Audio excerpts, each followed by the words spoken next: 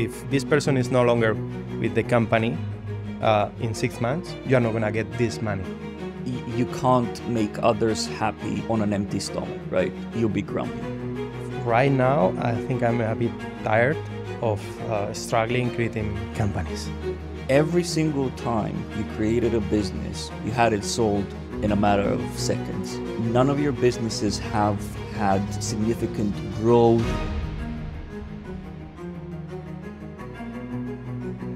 You're watching the Misfit Founders podcast, a raw conversation about the challenges of building businesses, overcoming hardships, and also feeling out of place.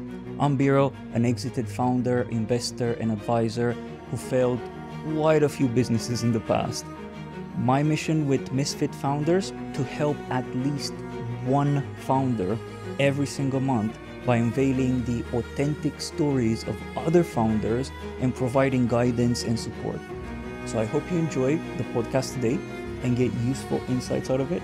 And if you do, do join the conversation on our WhatsApp community where we discuss topics like this one in this podcast, in group as well as uh, private sessions. Link in the video description.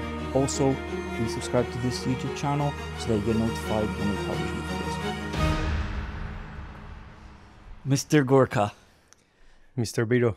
hi. I feel I'm trying to figure out did I have you on my previous podcast? I think I did. Yeah.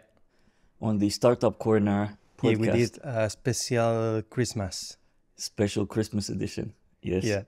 But that one was, I wouldn't say scripted, but I had the questions for you hmm. prepared. Hey, here's what I'm going to ask you. I think it was something like making my parents proud or something like that.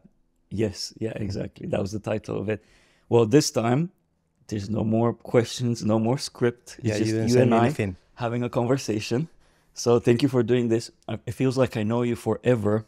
Um, and we were actually talking if we ever met in person and realized that we actually didn't. Is the first Yesterday, time. the first time. Yeah. But we've been talking for more than two years, three years. Yeah, it's crazy how many how many friendships and how many connections you make, um, especially with the pandemic in the middle, and you realize, oh, it feels like I know this person forever, but in reality, I don't. I've not met you in person. yeah, that happened today. several times now in Fire. Yeah, Uh, you have meetings every other day with a person, and then you go to an event. And It's like, oh, it's the first time I see you in person. Like you are bigger or smaller, or yeah, yeah. uh, yeah. Well, let's kick it off with a quick introduction. Who is Gorka? A bit of your background, and also what's your business? The business that you actually sold. Um, Yeah. Just now. Well, Gorka is a product manager. Mhm. Um, I studied computer science. I did a PhD in web information systems, although I specialize in corporate wikis. That's how I arrived at the Atlassian Confluence. ecosystem. Yeah. My thesis was uh, I developed uh, these plugins for MediaWiki at that time, hmm and and then I moved to to Confluence. Okay. Um, so I'm gonna start by going to um, my degree. I finished computer science, so I didn't know English. What I did, I got a grant and I came to the uh, UK hmm to uh, try to open a business for a home automation systems company. Okay. So yes, fresh from the university, Gorka, uh, we need to open a new branch in in the United Kingdom, wherever you want. And I was like, okay, I don't know how I'm gonna do that, but uh, let's try. So like I speak no English, man. yeah, and trying to learn English, man. and and I had no idea, so I didn't do it. I mean, uh, I tried. I went to first. I contacted like providers and everything, and then I did this from Edinburgh. I I chose Edinburgh. So hold on a second. So you didn't speak English and you chose to go to I, I was learning. I, I you're had- learning, but you chose to go to the place where they have the thickest accent ever. Yeah, yeah, yeah, Wow. yeah. Yeah, and I don't know if uh, when I finished and I came back, I could fully understand uh, uh, uh, Scottish, Mm-hmm. uh, like uh, with uh, their their accent. And yeah, I was there for nine months. I I kind of learned English because I was every day studying English and interacting with people and and with the, this company, a home automation company. And one day I received a call from a research group offering me a a, a contract to go back to um, to um, my university in San Sebastián, Donostia, in the Basque Country, in the north of Spain. And I said, well, why not? I want to to specialize and keep on learning about uh, computer science, and that's what I did. And I did uh, the PhD. This is like four years that I summarize in a few seconds Yeah. because um, it took me like four years to uh, pr- uh, prepare all the research, uh, publish the articles, um, journals, a lot of conferences, and I present the thesis. And during that time, there was these uh, projects we had with uh, private companies, uh, university, the private company, and sometimes it was European projects and sometimes uh, national projects. And there was always a challenge that the university had to try to solve with uh, innovation. And then there was the company that uh, should develop the technology based on our contribution, and then another company or several companies uh, waiting for that solution.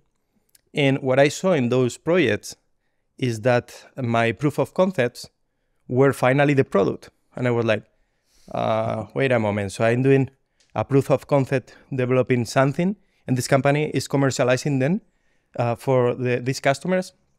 What if I what if I do that on my own? Yeah. Because I can do a, a full product, right? And that was my my idea uh, for starting a company.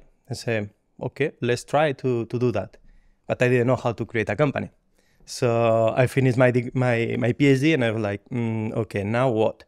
Uh, so what I did, I joined this um, entrepreneurship program in my area, and I was there like a few months, almost a year, developing the business plan and everything. And I was lucky enough to to win this kind of contest. And one of the um, the things they gave me is an office for a year for free. Oh wow, Yeah, so um, that's uh, a big big win in a sense. You don't Yeah. have to pay rent for a year, yeah. especially because I suppose this was this was a long time ago, wasn't it? Uh, that, this is in 2013. Yes, and but at that ago. point, it was abnormal to have a business from home, right? Re- Yeah, remote. yeah, you yeah. had to have You- an you office, needed an and, office, yeah, yeah. physical presence. Yeah, yeah. And another um, of the of the uh, things that they gave me is um, the opportunity to travel to Silicon Valley.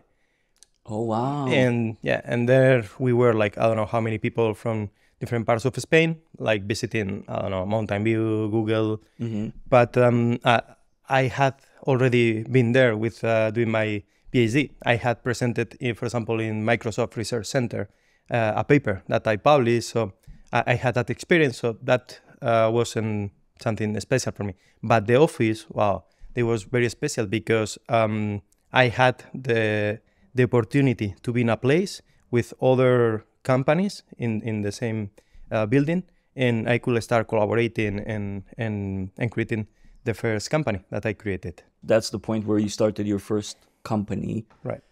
and you said this is 2013. Yeah, yeah. I created like the the the company at the end of that year, hmm in or the beginning of 2014, and during that year, uh, um, well, in 2013, I already started going to uh, the Atlassian Summit Right. and to the Atlas Camp. How how did you get into the Atlassian ecosystem? Or like, well, how how did So- that come across? So I knew pretty much every single wiki engine that there was out there because of my research, and and I started to develop plugins. And for some of those uh, wiki engines, it was di- really difficult. I remember even uh, had to decompile others to see how to implement a new plugin. But Confluence in that time, uh, they already have a pretty nice documentation for developers. Oh, right. Okay.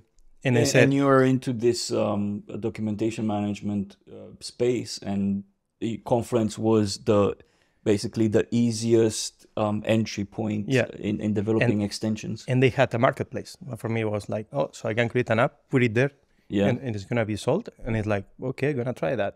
And I love from the very moment that I knew Confluence as a wiki engine, and and I started to attend the the, the conferences to understand the ecosystem, the Mhm. players, and that's how I started to to meet uh, Roberto from uh, Comalatech, or Randall from Appfire, or Yeah. or many other founders, and, and I started to to see um, partners that now are my friends, like uh, Deiser from from Spain, Guillermo and Dani. I met them in those events.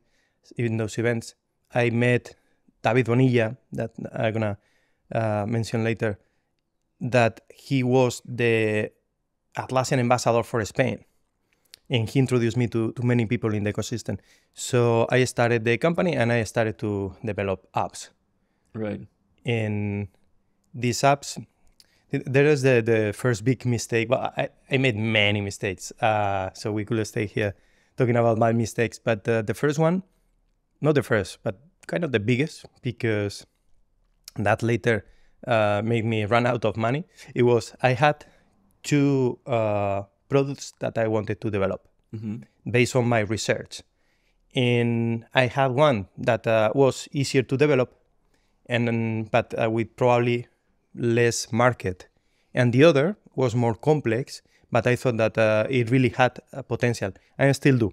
And it's been almost ten years, and and I said, okay, so if I start by the complex one, maybe I don't finish that on time. I run out of money and I had to uh, start another thing because it's too complex and I, I don't know how to create a, an app in for Confluence. So I'm gonna start by implementing the easiest one. So I learn and I understand how to develop an app. The problem is that I started with that and I ran out, out of money with the simplest one because I didn't know how to do things, right? And uh, what I had to do is to start developing uh, custom plugins for uh, companies, for third party uh, To make money, Yes, basically. to make money. Doing services. Services. Um, Yeah, yeah, yeah. Business. So I started to do that. The problem with that is that I didn't have time for my own products. I had to work for others. And I had two friends that helped me as contractors in that time until the time I could hire uh, a person full time. Mm-hmm. That this person is today in Appfire through Comalatech. So uh, I still have uh, Interesting. yeah, and he's my friend Juan and everything. And and there was that the, the first mistake that I did is like uh, trying to do something to learn instead of uh, to build a business. And then I moved to services to pay for the product, but I was a single person, so there there was no way I could do both things at the same time, doing everything on, on my own and developing because in that time I was developing uh, the products. But that made me get in contact with other companies. In that time, there was this other company that uh, asked me for, I was, remember, me and another person, and this company asked me for a very big project of uh, six people for six months doing services. And I was like, sure, here is uh, uh, what I what I gonna charge you. Here's an invoice, and now let me find those six people. yeah, yeah. Uh, can you do that? Of course I can do that. Six people, six months, no problem. This is what I'm gonna charge you. And the company was like, if you charge me that, I think I can acquire you for less money. right. And that's how I started my first conversation to to sell uh, my first company. And and again, I was there. I had no idea of creating a company, and I was in the middle of a an acquisition. And so what I did is ask someone who knew more than me. It was Roberto from Comalatech. And I said, hey, Roberto, this is happening. I don't know what to do. Uh, he was, let's, okay, Gorka, I'm going to Spain because he, he lives in Vancouver. Let's meet and let's discuss. And out of that discussion was like, you are going to sell your company to them, I, I, I'm going to acquire your company. I'm going to give you more. And I was like, now Don't I sell got to two them, sell to me. yeah, yeah. uh, He was like, "Don't sell them, sell to me, and we're gonna work together." And that's what I did because I didn't know what to do with uh, a company. I didn't know how to run a company. I didn't know about the business, the ecosystem, and I didn't have more money. So that was my opportunity to learn everything and uh, prepare because I needed preparation uh, for my next gig, right?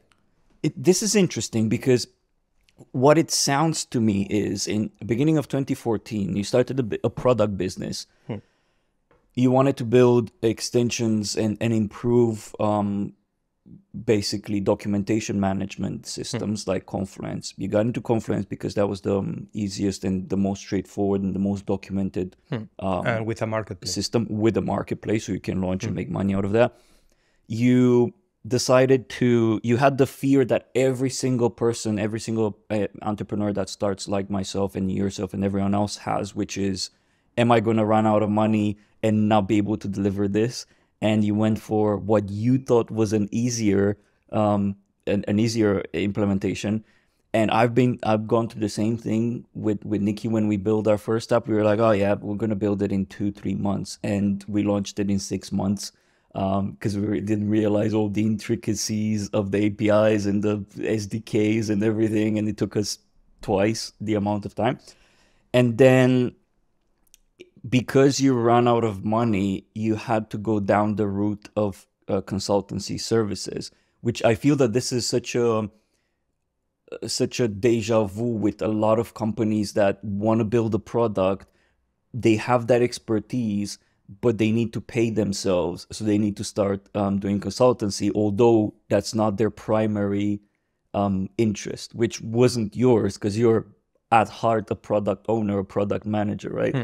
And then uh, you started conversations around acquisition very early on it sounds like so when did so you start you you started your business eh, very early 2014 when did you start conversations um, with these two companies to get acquired uh i don't remember but maybe after six months seven months wow yeah and that's the power of of being part of an ecosystem and, and meeting so many companies and so many people hmm. isn't it because that was the same with us we we got funding from christian from resolution hmm. uh, early on because we knew people and all of the acquisition discussions for us started because we knew people in the ecosystem right. and and with these um with these two companies so you you, you obviously went with Comalatech because you've been working at Comalatech for a while so I suppose it was more of an acqui-hire, this first um, acquisition. Yeah, yeah right.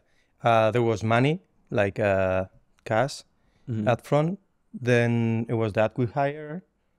We negotiated, I negotiated, of course, not just for me, but for uh, my, my employee, because that was important because this person trusted me. He mm-hmm. was in a huge company, public company, and he came to my company that single person and I told him, hey, I got money for a few months, but don't worry, this is going to be great. And he was like, okay, uh, I trust you. And he, he, he, probably had conversations like, look, if things go bad, I'll come work yeah. with you.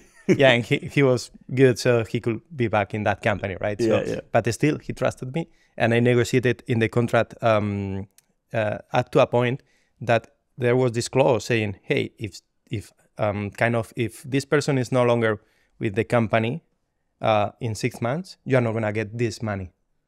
So I right, said, yeah. sure, uh, I go for that, right? So I trusted him also. And then uh, there was also money for objectives. You get that? And I said, sure. And I went for, for that. And it went well. It went well. Well, I think I think that's usually the case with um, with acqui-hires because basically you're not being acquired for your technology, for your IP, for your product. You're acquired for your skills. Mm-hmm. And when that happens, is the buyer wants to ensure that the people that they're that they're acquiring will be there in six months, and also ensure that they're delivering. Because mm-hmm. at the end of the day, is not something that already exists. Is something that you will be producing for that company. Mm-hmm. So I understand um, why Comalatech done, hmm. done that, and I was expecting it to go well because you know you've you've had the experience and the passion at that point and the hunger I hmm. suppose, to make things yeah. happen. And uh, we brought to Comalatech, I don't remember, three or four apps that we had already mm-hmm. in less than a year. And one app is still on the marketplace and oh. still making money. Making money. Yeah, yeah. That's so, good. yeah, that was a good uh, acquisition for Comalatech. Uh, yeah. I suppose, yeah. And, and for how long were you there? Uh, more than four years. Four years. Yeah. Wow. At the beginning, we were, when I when there they, there were five people, I think, mm-hmm. plus me and, and Juan. So we were seven. And when I left, there were like, I don't know, 40, something like that, or yeah, or 30 something. Yeah, we opened an office. We didn't have a, a physical office. Mm-hmm. That now is one of the Appfire's offices in the biggest in Spain. We got two. My city, the smallest, uh, Vitoria, and then in Bilbao. And we opened the office and everything. And now probably you're thinking, why you left? Uh, that was my next question. yeah. Because uh, four years, like I worked for a company in London for five years, and it was it was a great experience. But depending on on your desires and your character, you can also get a bit complacent complacent and and comfy in a sense and say well this is you know i've been here for four years been achieving so much this is a comfortable place Hmm. what what made you leave Yeah, um, I didn't have skin in the game, as you said. right Um, I didn't have any motivation for working as I was working. hmm I don't know h- work in another way. I work, I always work. I'm always thinking of uh, the problems at work, but um it's fine. It's what I like. It's what Yeah, I yeah. enjoy. But uh, I also need motivations, challenges, and I had a huge amount of work. Uh, there was pressure because I had to deliver for many things. In that moment, I was the only person, the product person in the company yeah and we had many products, uh, really complex products, um, Comala workflows. I was not the only person because we had hired another uh, product manager, Alex, that now works with me. In and there was many things that. So, one day, one Sunday, I said, "Oh, tomorrow I had to go to work," and it was, well, first time in my life that I think that way because for me, Sunday should be another day in the week yeah uh, Monday is fine because I enjoy my work. But in that moment, I wasn't enjoying going to, to work uh, Mondays. I was Right. like, oh, there is a problem. I had to solve this. And I talked to Roberto and say, hey, Roberto, uh, I, I don't feel fine. Yeah. I think uh, I'm going to move. I'm going to do something else. I'm going to go back. And he even offered, hey, why don't you, while you think what to do, you stay like part-time with us and Mhm. the other part of the day uh, thinking of what are you going to do and I appreciate that that he did uh, that. But um, that, that was not gonna be enough because when you are in a project focused on an idea, you are full time. yeah So what I did, what we, what we did is we stayed like maybe for six months or something like that until we prepare the way for uh, moving out of Comalatech because I was in the middle of many things. So we hired more people, we restructured because I was product manager, but I work a lot in support uh, with uh, other teams. So we organized everything, and then and I left, and I left uh, as a, and I joined another company as a late co-founder. yeah This new company, uh, Manfred, was founded by David Bonilla, the one that was the Spanish ambassador that uh, I mentioned before, the Yeah. Spanish ambassador for Atlassian. And he also worked in Comalatech as a CEO for one year. And he left to create this company, and it was about um, technical recruiting. So, um, and we started, well, it was David Bonilla and an intern, and I joined as a late co-founder, a small uh, share. Uh, I was a, a small shareholder, and we were supposed we were gonna do a platform for recruiting, like uh, I don't know, Greenhouse or and let me get straight this is the start of Ronin Pixels no, no oh this is it was in the middle. ah okay okay Yeah, okay, yeah, okay. yeah. go on Yeah, and and I was there. So we had the same issue. We needed money to create a product, and what we did at the beginning is services. So kind of normal services, but uh, with a more human approach for uh, recruiting. So um, a company came. I need a software developer, Java, blah blah, with this salary. Okay, we had very strict rules of you have to offer a fair salary otherwise we're not going to look for a candidate. And of course we we check the the market this company were, was looking and everything. So at the end of the day i was doing uh, recruiting services like uh, we charge by uh, if i get you a person and this person stays with you like uh, i don't know at least three months we get the money and everything you get uh, these these perks and everything and because we didn't have the money to create a product team, we needed services again. And we said, okay, uh, we know what to do. We get the ball rolling, we get money from services, and then we create a team, and this services is gonna fuel our Yeah, product yeah. team. That's really difficult. That's really difficult.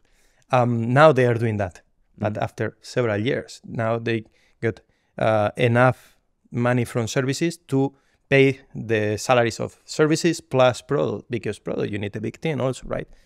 And, and the thing is that this company was sold or david sold the company after one year i was there. And i was like no why not? Why now? Uh, this is a rocket. Uh, don't sell it. And uh, i understand his situation. Uh, Yeah. money he's got family.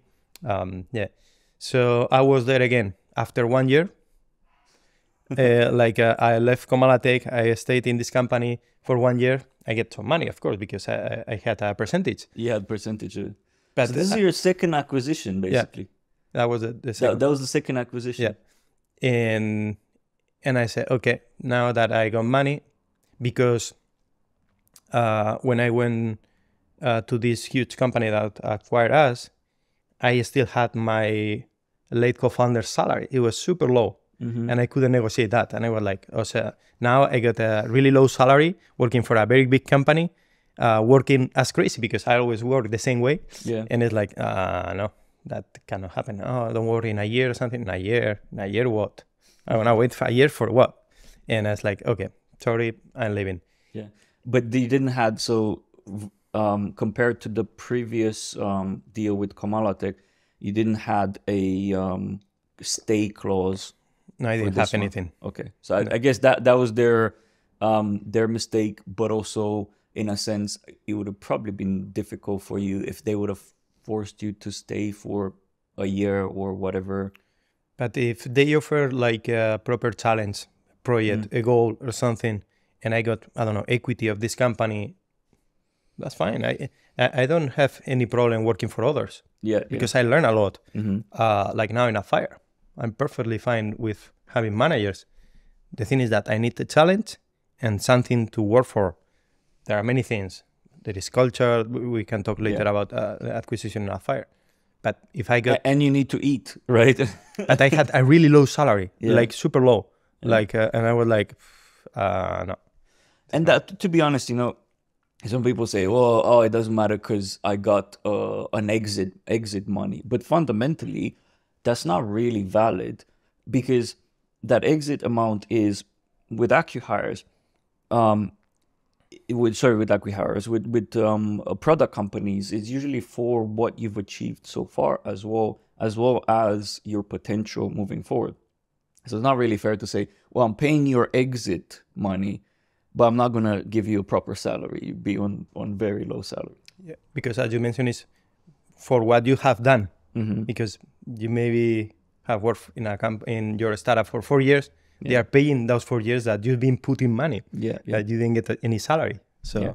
It does feel like these two exits, um, your departure from the buyer are completely different. Um, So, like with the first one you mentioned, leaving after four years, I think, um, and I think that your um, employer at Comala, um, who was the Roberto, Roberto, Roberto, yes. I think Roberto was really understanding and knew what it means because you know people that people that hold on bosses that hold on to people to good people without really thinking if those individuals are still a fit for the company at that stage or if they're still motivated at a completely different stage are not really thinking about the well-being of their team members right? Because i've seen this in the past where um a leader a boss whatever a founder would just hold tight to an individual because they were super talented and because in the early days they were they've had such a big input in the company because they were doing they were the ones that were doing i don't know technical um, security cio whatever this kind of roles. And the, the company evolved to tens hundreds of people. And that individual which was thriving in a very small startup-y do do it all type of environment now was struggling but the founder keep kept them around and basically tried to motivate them financially to stay just because you know they see they were seeing them as a talented individual but didn't really realize that they don't fit in the ecosystem anymore. Um, a- and, that's really good thing and I, I I like what you said about roberto that he actually offered to pay uh, pay you basically to have you on on um, part time while you figure out your your path because. Hmm. again you know you coming in when there were seven of you um, and then four years having tens of tens of um, individuals in the team and you know you're you didn't you wanted to go back to doing your stuff from scratch and working with a small team and building your own stuff and uh, you know that's completely understandable I'm, I'm i'm the same i think i'm i'm a better fit in a startup environment and thriving in a startup environment than a big company mainly because i have a bigger um val i i i, I have a bigger output when i need to handle multiple things and so on. And then the second the second one was a bit more like uh i'm not um i'm not challenged here and i'm They didn't think of me. yeah exactly. Yeah. it was it was I too big like- of a company and they didn't really care. Yeah, they didn't. Yeah, that, that that's the that's the word. They didn't care. They were like, "Are you leaving? Bye bye. We got thousand people more." So, yeah. and then so then i kind of know the the history from here you uh you left you started uh Ronin Pixels you finally because you had the the budget now to start the company you finally got to do what you always dreamed of which is build products right um how did you how did you decide what you're going to build was this an experience thing where you seen a, a gap in the market while working for all of these companies that acquired you or was there something else So, um, well, that time I knew, I know, I thought, but I knew that uh, uh, it was gonna be successful in a new company. So I called Javi, Javier, uh, one of my partners, and Inigo, and say, "Hey, uh, I'm gonna build this company. It's gonna be great. We're gonna be successful. Up to you. You wanna come with me?" They were like, "It's gonna be successful." I say, "Sure, yeah," because I got these rules, and yeah, we fit in that. Uh, Yeah. uh, description of uh, gonna be successful. And we started to have meetings with ideas, and we decide which one was gonna be our first product. We had several ideas, and Dashboard Hub one was one of those ideas that we thought could be interesting for uh, many type of customers, small and big customers. There was an initiative in Atlassian, Atlasboard, uh, it was many years ago to create dashboards and it was super successful internally in Atlassian. But you had to create your own gadgets by implementing uh, like a new node uh, module. So you needed to be a developer to create a new metric for the dashboard. And we thought, oh, that's really difficult. No, you cannot extend that. So um, we did in a way that was and is easy to anyone to create these metrics. And but we had many other ideas. We had a list of ideas, and we discussed all them pros, cons, uh, why this is gonna be successful, why this is a terrible idea, and it took us a, a while to decide. But then we developed it really quick because Right. yeah, we got this kind of lean uh, startup way of developing apps. Uh, we strip everything. Mhm. This is the bare minimum that has value, and we were experts in creating apps for the marketplace. let me let me go back a bit because Hmm. you mentioned and I want to figure out if this was what what you're referring to. You mentioned that when you call Javier, you you said this is going to be successful. I have the blueprint on how to make this successful. What did you mean by that? Um, successful in what? In su- successful in how you execute building, or successful in in growing and generating revenue? What were you referring to? No, it's something more. Um, well, later I'm gonna talk about. Uh, we got an investment company, a small investment company, Mhm. and I got my own rules to invest. And one Right. rule was that if there is a founder that is not super young like me, Mhm. um, I'm 40 right now. I- I'm young, but I'm not 20 years. Yeah, yeah, yeah. You can fail many times in theory, not always in theory. And we had money. We didn't need to do something on a rush. We had money to stay one year working in a product. So Mhm. that was was one thing. I had worked for in, in the Atlassian ecosystem for many years, so I knew the, the ecosystem we were going to, and also Javi and, and Inigo. Uh, so there were many ingredients, and and we knew how to develop an app technically and how to launch to the market. So I said, okay, this is gonna be successful. No, because uh, so I, I really believed in that Right. that uh, we were gonna be successful. So basically, your your main ingredients that made you confident that you're going to be successful was the fact that you had financial leeway, runway, um, financial runway in order to be able to sustain yourself and your co-founder for a year to develop this. So you knew that you don't need to jump into um, services to keep yourself alive, which is it is it fair to say that that's one of the things that in the past companies kept you from actually building a product business. Yeah, yeah. In in Manfred at the beginning, and then in Kenobi. Yeah, and then the second one is the talent. So you worked with um, uh, javier before. Yeah, uh, you you guys knew each other. You worked really well together. And then the third one is you you knew the ecosystem uh, Javier and, and Iñigo also, hmm? and Iñigo, yeah. Iñigo also, the three of us. Oh right the Yeah. two of you yeah, mm-hmm. yeah. Mm-hmm. so you had you had your dream team together Yeah. and then the third one was you knew what you were doing because you knew the ecosystem and you mm-hmm. knew how to build up. so these were the three ingredients for financial team and knowledge And experience. Yeah, yeah okay. With that, those ingredients, it can go wrong. it can yes Yeah, Uh, yeah, but it's uh, it's interesting that you called them and be like, dude, I know how to make this successful. and they were like, the blueprint. "Really?" And I said, "Yes." It's like like, "Okay, let's try." I think that confidence, uh, that confidence at, at times is is good. It can it can go both ways.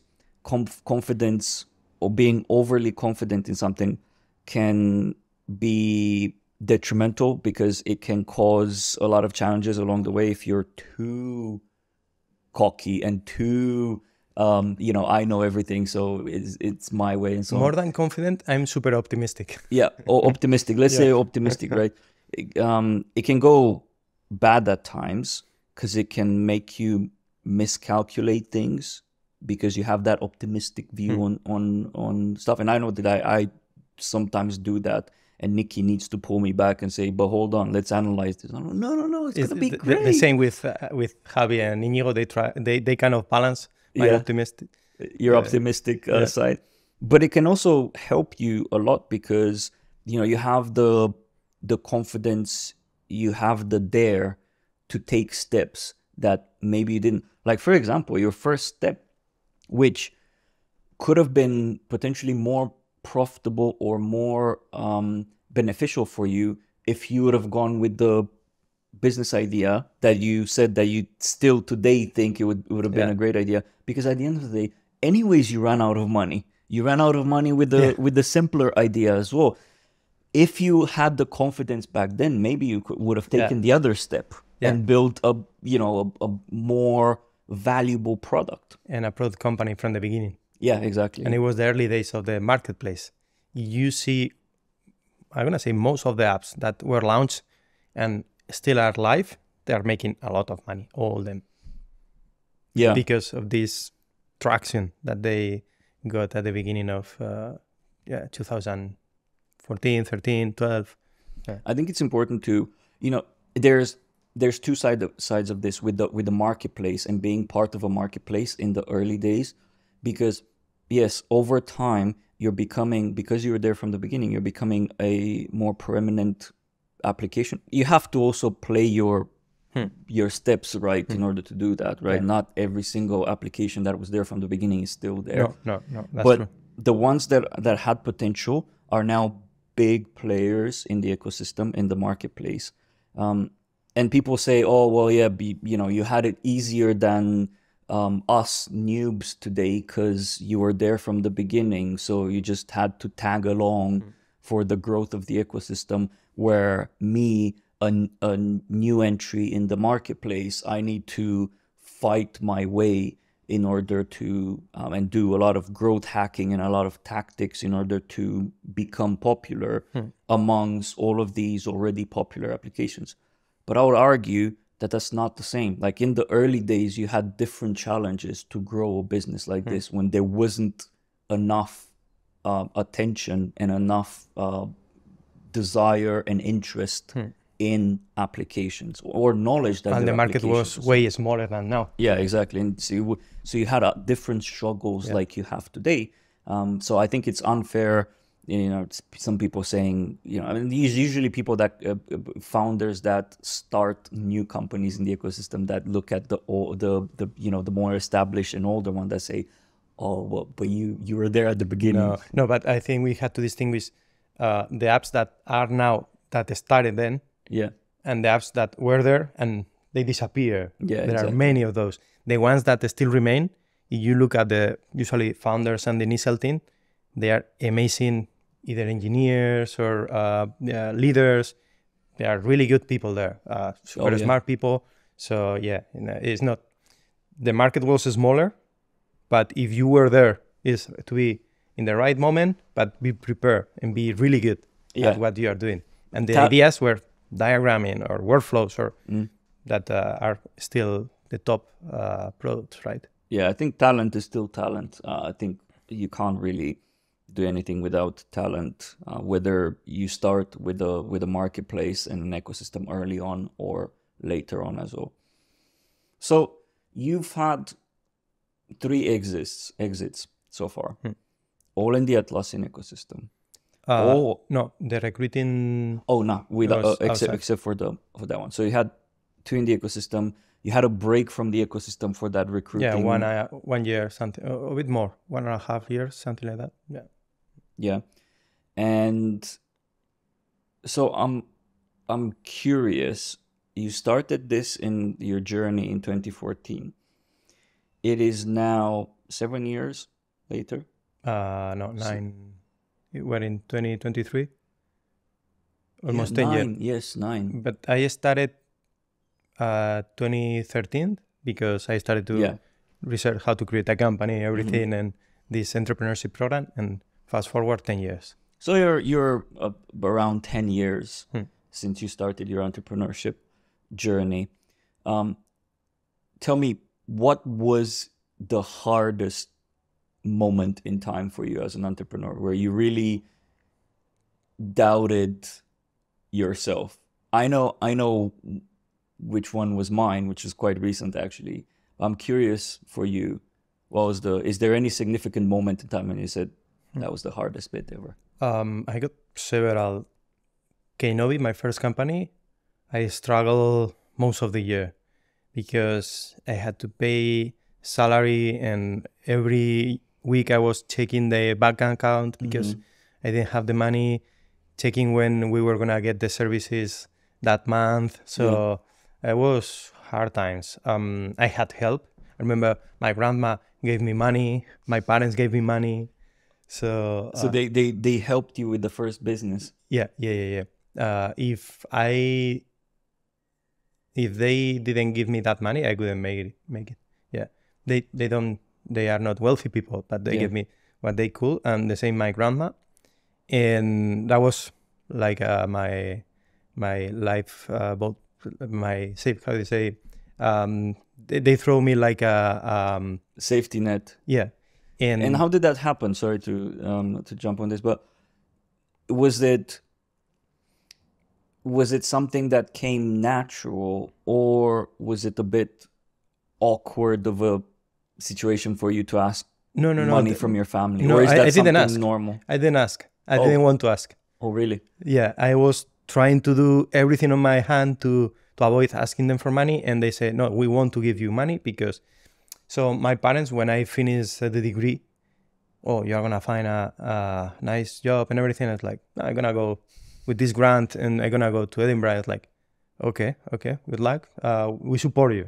But they were like, oh, okay, he's an engineer. Why don't? But okay. And then I came back, and I was gonna do the the, the PhD, and they were super happy when I finished, I had several job offers. Uh, I had one to go to the uh, a university it was in Belgium, I don't remember, uh, another offer in the States. So I had different, and I was like, no, I'm gonna create my company, and they were like, okay, we support you, but why don't you try and go to work for a few years to this university or to the States? And I was like, no, I'm gonna create my company. They were like, okay, uh, we support you, but uh, okay, uh, and they were like take this money. And it's like, no, no, take the money. I say, okay, I need it. Uh, do you think there were? Do you think in the in their mind, deep down inside, they were worried? they were, were yeah, a lot, like a lot. They were like, they, they, my mom always said, uh, you know, you can come come back home any day. You got a room, you got food, and like, okay, thank you, mom. It's like, yeah, okay, I, Maybe I I'm know you're need worried about me and then stuff, but I'm good. Yeah, yeah, yeah. They, they were worried. Um, And they saw also like a big opportunity. Uh, the States job, they were like, uh, that's too far. But uh, in Europe, they were like, why don't you go to that university and start working? But I didn't want to work in the university. I had, um, oh, I, I did uh, the the thesis in a research group, and from time to time I had to do master classes and everything. I didn't really enjoy that. Um, it was like not going deep into problems, just yeah, swallow uh, concepts. Not swallow. There are some advanced things, but I didn't want. I, I want real problems from uh, real customers, and Yeah. uh, yeah, and yeah, they, they were worried. They were worried, but uh, yeah, they gave me the money and they say, "Oh, we support whatever you are gonna do." So were you are you were you able to openly talk to them so for example when you'd go home back home you know family reunion whatever for holidays and so on would you openly talk about your challenges with with your company or would you did you keep that away a bit Mm, No, from? I usually um, just told them about the good things. Oh, we got a new contract with this huge company Mm. in uh, a a company that we got services, and we are gonna do this job, and they are gonna pay pay us uh, this money. And well, but they didn't say if I'm struggling. I'm discussing with the bank, and uh, I'm getting yeah uh, a small loan to get until they pay us uh, these services. Uh, no, I didn't want to worry them, but um, it was not. It was like uh, not lies, but uh, a different truth. Uh, until yeah. yeah. just hiding some some Yeah, of the yeah, negative so- bits yeah, and and then it came pretty quick the the conversations to uh, the first acquisition. So and they were kind of happy because I had to travel. The company paid me uh, the trips to discuss the Mhm. the conditions and everything. So they were like, "Oh, this is something. This is something. Maybe uh, he's doing something that is gonna move him to the next level, right?" and I'm I'm curious now did you did you pay your your family back Yes. you did Well, I, I didn't pay back. Like, uh, here's the, here's the money. yeah Uh, I gave them money hmm when uh, yeah yeah yeah and they were happy. Did, did they? Do you feel like they, they? they, were- didn't want were- it they didn't want it They didn't want it. no they were like enjoy the money I was like I'm enjoying the money Mhm. and this money is for you to enjoy so we all enjoy the money When, when you when you exited, um, and you know they, how did they feel about about your successes? There, I'm I'm sure the parents and they're they were happy about it. super happy super proud and yeah and we had always celebrated in in restaurants that uh, they couldn't go if it wasn't for these situations and i also enjoy going to for example i remember once i don't know you know um, the Etxebarri is uh, it's been one of the best restaurants in the world and uh, we went there and it was awesome and they were like wow yeah so So- yeah and you felt very proud Yeah, to yeah. to have that moment. try this, try that. Uh, this wine is amazing, and yeah, yeah, yeah. So so basically, when it, when going back to to what you mentioned, one of the toughest moments for you was that financial incer- uncertainty that you had in the very early days of your first venture. Um, yeah, that's that's one time. There are more. Uh, for example, when I had to leave Comalatech, hmm uh, I wasn't. I didn't have my mind really well. I was like uh, thinking about I'm not happy with my work. I'm not happy in life. So that was uh, a hard moment, and and then there is another moment. I didn't talk. I got other company, and that I'm trying to get out right now. And with this company, I had I, I, I'm having tough moments because I really want to leave it. My partner doesn't want it. Uh, we, I want to close it, uh, Yeah. and he doesn't want it. He wants to um, keep on struggling. We are struggling with this company. It has nothing to do with software. It's related with uh, medicinal cannabis. We got a seed bank and everything. And uh, yeah, uh, I was a, that was a big mistake I made. Uh, When I did started you this open company. one? Um, I started this company 2019. Okay. Yeah, and yeah, he told me he's a friend hmm that is really good friend, but as partner we are not aligned at all. Not compatible, No, which is no, no. which is completely fine. And fundamentally, I think that's what people need to understand that if you if you're very compatible as human beings and friends and so on, doesn't really make you automatically good No, business partners. No, no, no. This is a really good example. Uh, terrible. We we are both of us are suffering. Uh, when we had to talk about the company, it's like uh, we even uh, I even get like uh, pain in my stomach, Mhm. stomach, and yeah, and I really that was a big mistake. So everything is not uh, like success and exits and everything. Yeah. Yeah. So mm, in this company, that's uh, one of the, yeah, probably the, I don't know if the biggest mistake, probably the biggest mistake I've done creating companies to create this company. Yeah. And So you've had quite a few companies so far. You've you've started quite a few things. Yeah. And now you've been you've been acquired. So Ronin Pixels, your um your company with your um basically reporting and analytics application in the Atlassian. I mean, it's not just Atlassian because you can plug in and it's a standalone tool. uh, well.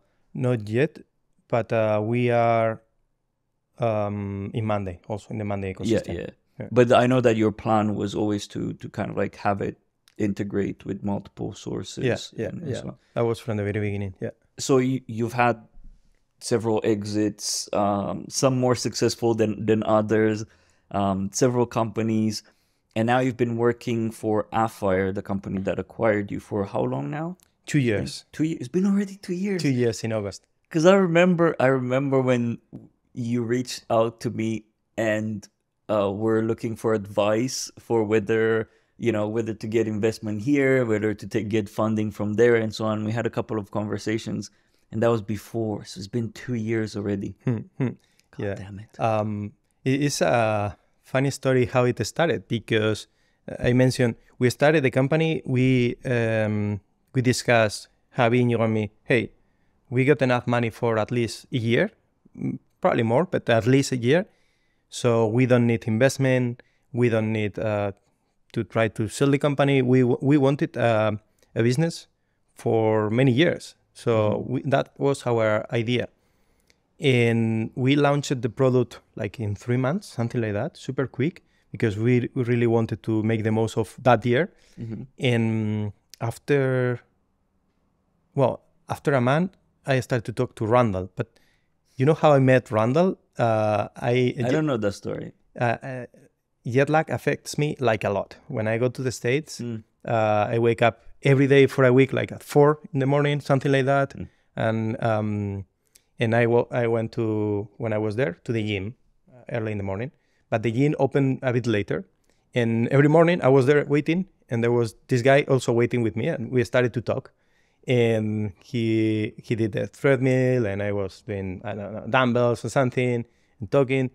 And one day I saw him because we were in the Atlassian Summit, within the because we were in the hotel and then in the summit. I was like, "Oh, you are in in the ecosystem," and he was like, "Yes, I'm the, in the ecosystem." and and what do you do? Oh, uh, I got uh, this company, Appfire. I was like, "Oh, okay." so you are yeah, and that's how I met him. And we kept discussing every time we saw each other. He always was interested in what we were doing in Comalatech. I was in Comalatech at that time, and he wa- was always super uh, close and super interested in what I was doing and giving me advice and this and that. Uh, super nice, and he's still the same. Yeah, he's the, greatest person. And when I created uh, Ronin Pixels, uh, one day I started to talk to him, and he was like, "Oh, Gorka, you had to come with us," and I was like, "Well, not yet because uh, our product has one month in the marketplace. Mhm. We just sold our first license, hundred dollars, and let's wait a year, and we talk in a year." He was like, uh, "No, no, no, let's keep on talking." I was like, "Sorry, Randall, we are not gonna sell right now because uh, Okay. we don't need it. We we don't have anything to negotiate." and but we are looking for investment. Why? Because we had money for staying 12 months, but we saw uh, our competitors that were investing a lot of money in marketing, in, in content creation, and everything. And we didn't have the resources for doing that. We had the resources to stay, the three of us, working a year. Yeah. And uh, we were like, hmm, maybe we look for uh, investment. And we had, uh, we we were in the Atlassian Ventures discussing, and I we remember that. Yeah. yeah we had you're the, asking me about it. yeah we had the green light. We were uh, about to get it, and also we, we discussed with several companies. And I told Randall, hey, we are looking for investment, and we had more conversations, and he was like, "Mm, no, we are not going to invest. We want to acquire the company, and that was the story. At the end, we said, okay, um, we love the project. Of course, everyone is gonna think, oh, the money. Yes, money is important. First thing, yeah, but uh, it's not the only thing because we had other opportunities, and we said, "Mm, no. Uh, challenge. You had to be motivated, Yeah. and culture. For me, is basic, and their values. I talked to Matt and to Randall, and their values were as our values. We uh, we share many of uh, the fire values, and we had those values similar, different written in in our uh, core uh, description of the company, right? It, it does feel like because ours as well. So the Jigsaw values were, uh, you know, it, it kind of like written different, but it interlocked with some of the values that that Fire had. So it's it's funny how that that works. It does also feel like you had experience with a couple of acquisitions. You had experience with embedding with other teams, and you knew, at least it feels to me that you knew what you wanted from from a company um, when it comes to acquisition. You knew like I, I want the team that I work in to be like this. I want my role to be like that, and so on. Yeah, yeah. Kind of, I had the ideas clear, but uh, when Randall came with this project, I was like, oh, I wanted to do my project, but I love your project. It- And it's huge. It's way bigger than my project, that my idea, my vision. Uh, and we wanted to be part of that.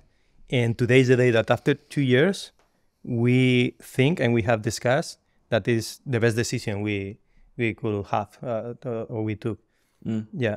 Um, So that that's that seems that sounds like a like a dream setup in a sense. But I want to dig a bit deeper because that's what I do on this show, and because it's I, I see a pattern here.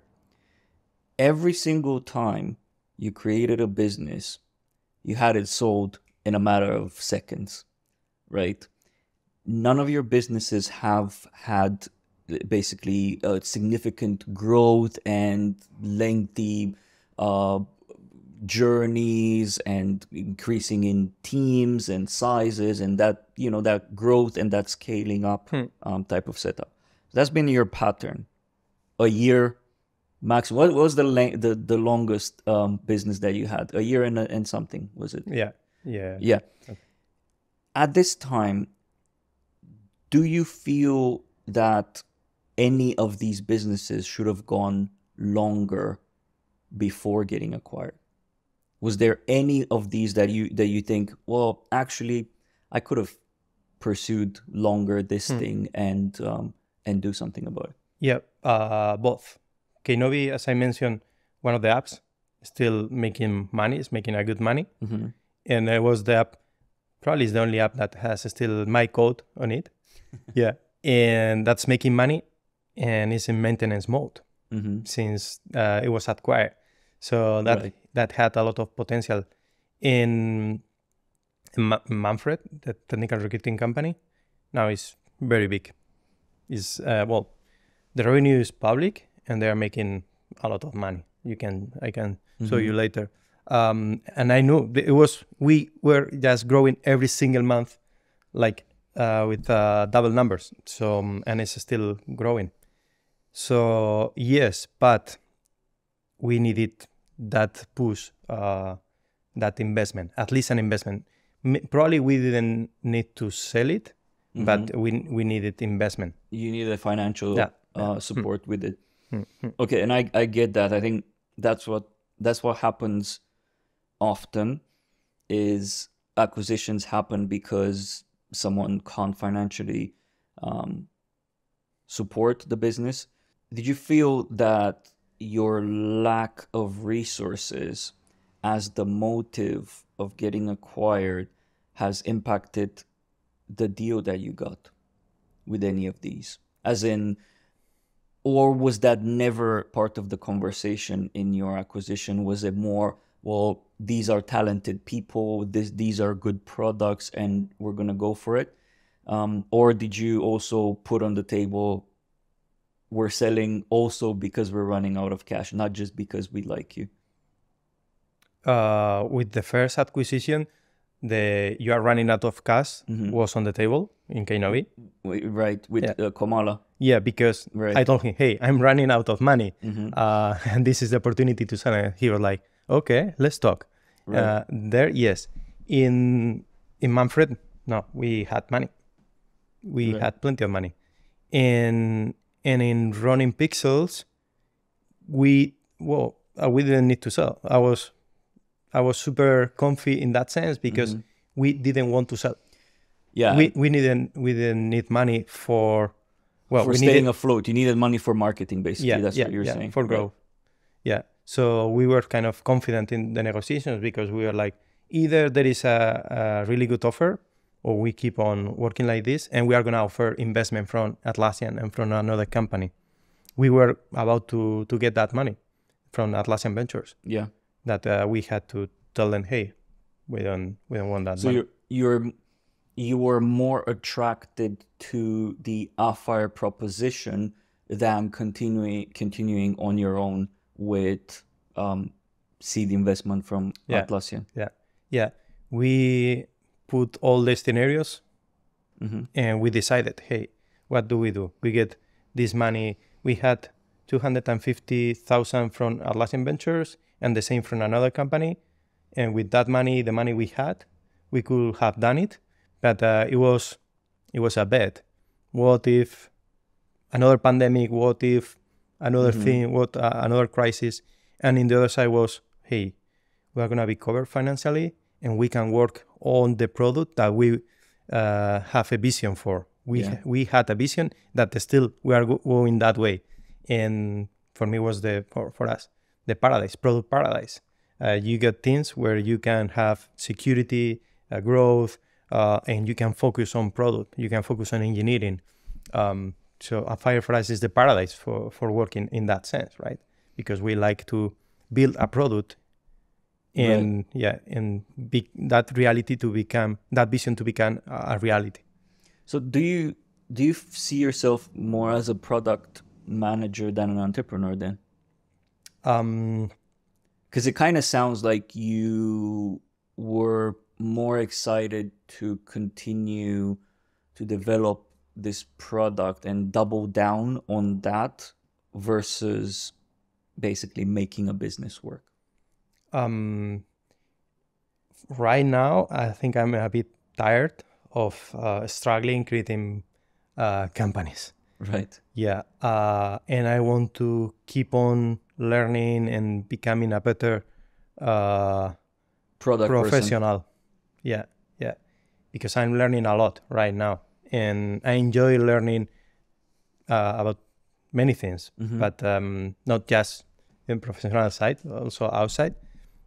And i don't know what i'm gonna do in the future. Right now that's my objective.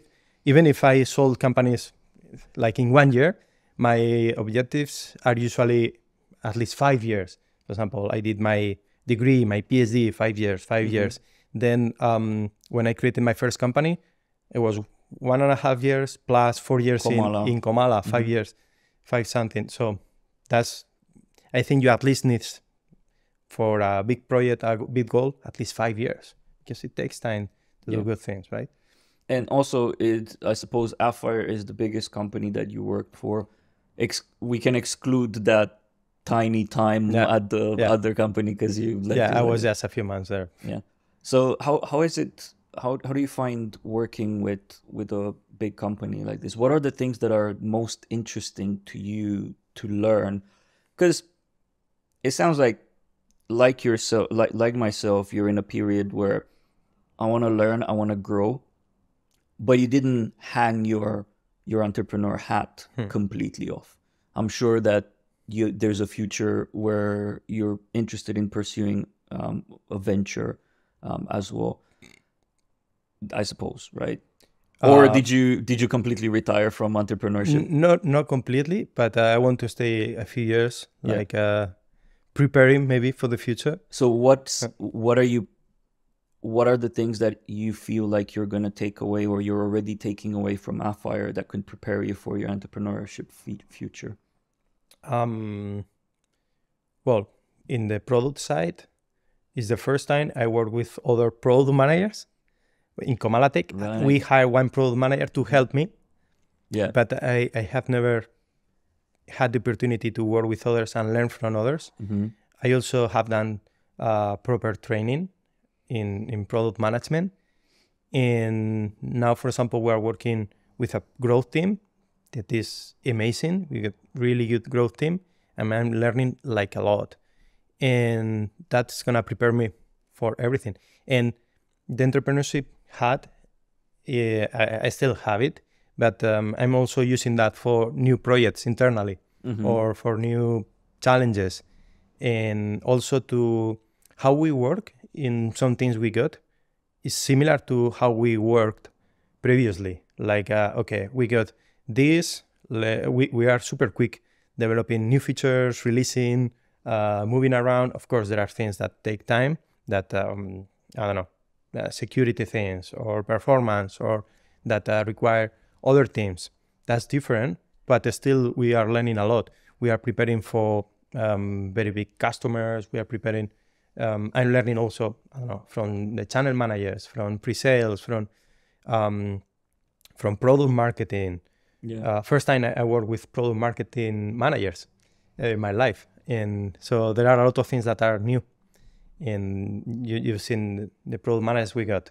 We got really good product managers. Yeah. so i'm learning a lot from from many from many people. That's actually good because um, it gives you the the context of of of a lot of depth in in an organization, and I feel from your stories that what has been missing from your journeys as as um, a founder and building businesses has been that that second layer of scaling up Hmm. teams and so on.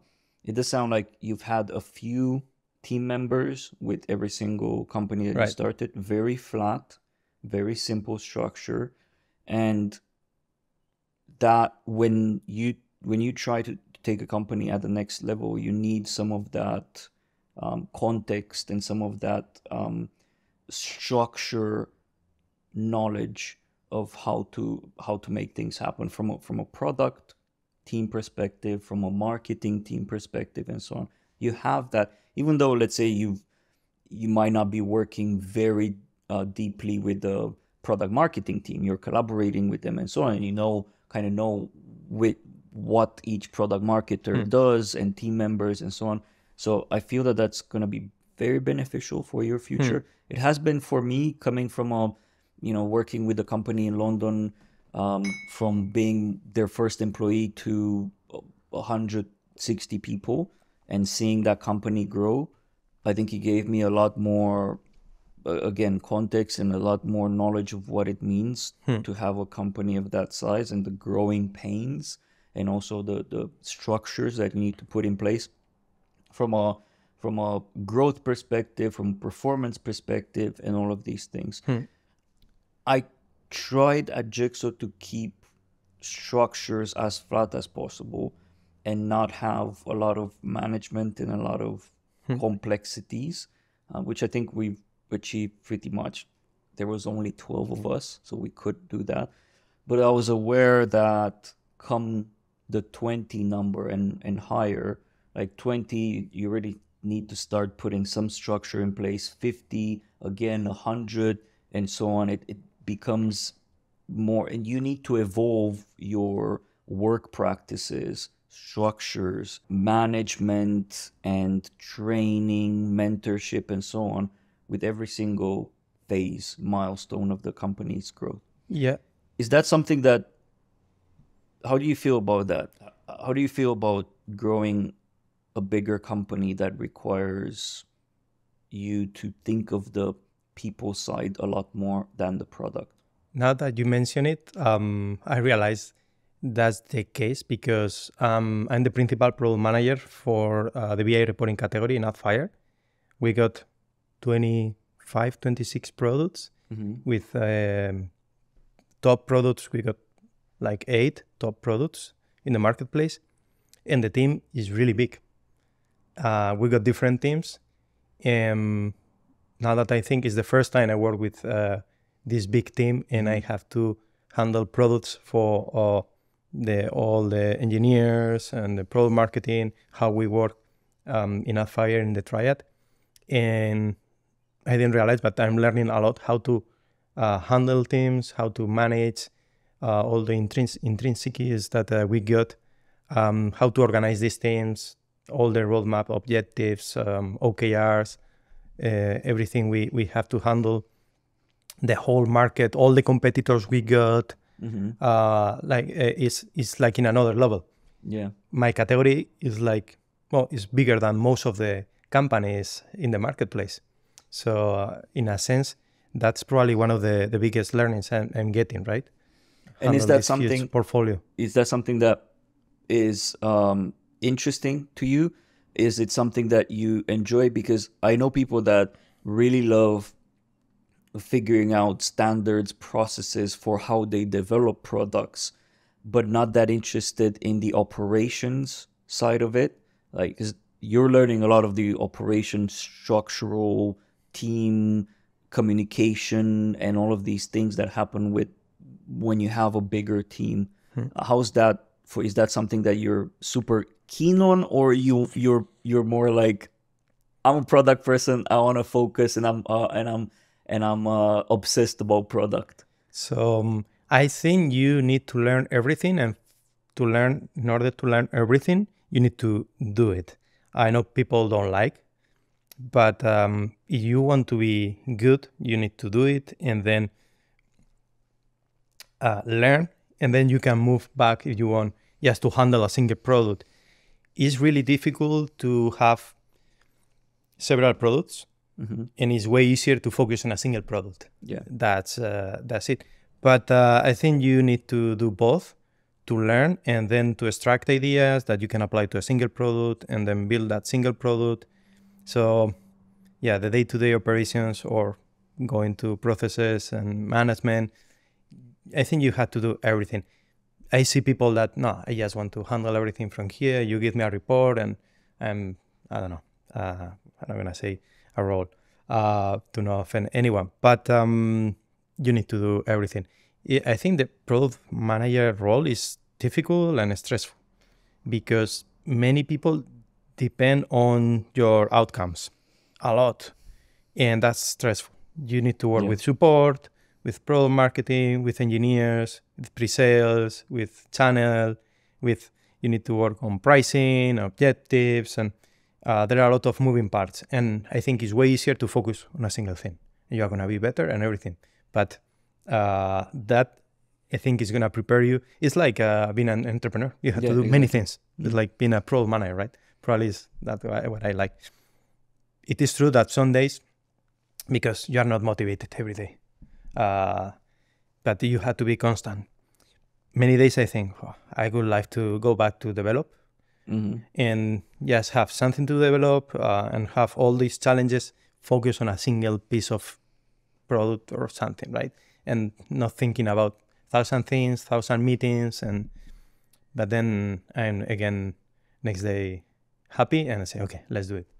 Uh, but sometimes, yes. Um, and that's why for now, I don't want to start anything else in, in a new business or something because it's tiring, mentally tiring. Yeah. Right. But I'm going to put you in a very um, tough, challenging um, situation just now with, um, for, for you to think about. So you've had all of this experience with building businesses from scratch and getting them to i would say keeping them at an early stage and um, and selling you're having the experience of working with a bigger company, bigger team now. You've been there for two years. I want to ask you if you were to start a company today, how would you start it? Because I'll, I'll give I'll tell you why I'm asking this question. I actually had a conversation, I uh, had a debate with Nikki recently because I said that when I'm going to start my next company, I'm going to do it completely different. Uh, that I feel that I've learned a lot of what it takes to build um, a, a company in a sense. And also, I'm at an age and a stage in my life where I don't want to hack things and spend days and nights working uh, super hard, twice as hard, uh, because it is me that does most of the things, and that I want to um, start my next business, maybe know who to hire from the beginning and get the resources to hire and start the business in, so, in such a way.